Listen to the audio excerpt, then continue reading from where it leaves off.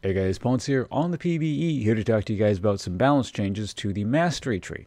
More balance changes, you know. In the past, we've had some rather extensive ones. These are, by comparison, somewhat minor, I suppose. But uh, starting things off, we do have a nerf to Grasp the Undying. Uh, on live, currently, it steals 3% of a person's max health. That's been lowered to 2.5% um, which doesn't sound like a huge deal, and it, it's you know it's not a major deal, but uh, you know when the numbers are so low, you know we're talking like two to three percent kind of thing. Um, 0.5% nerf is you know relatively substan- substantial given you know proportionally speaking it's quite a bit um, of the percentage there um, i don't know why they nerfed that specifically i guess you know riot felt uh, sort of the sustaining aspect of it was too much i know some champions can get pretty sustaining when you sort of throw that into the mix but um, anyway it's just a change there. I don't really have any concrete opinions on it. Uh, maybe some of you guys will feel it's justified or the end of the world or some extreme variant thereof. But uh, anyway, moving on. Next, we have Secret Stash. Uh, that's been not necessarily nerfed or buffed, it's sort of been shuffled around a bit.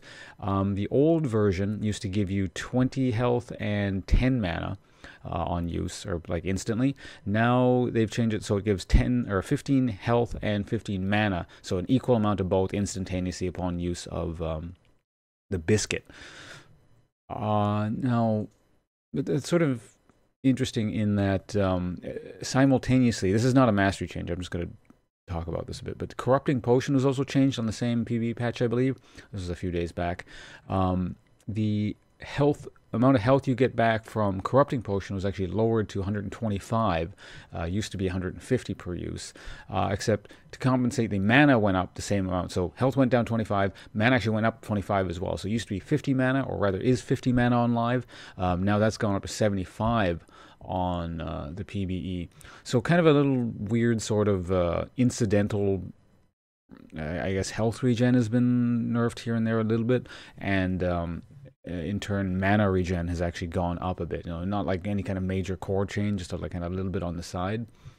I'm wondering if that has anything to do with the proposed eventual mage rework thing, which is eventually supposed to make it onto the PBE, but maybe not. Maybe it's just a kind of a general, you know, shuffling of the numbers. Uh, but that's what we have so far. I mean, these aren't again the biggest changes ever, but they do affect like a, a wide swath of sort of playstyles and champions. So that I figured to cover it.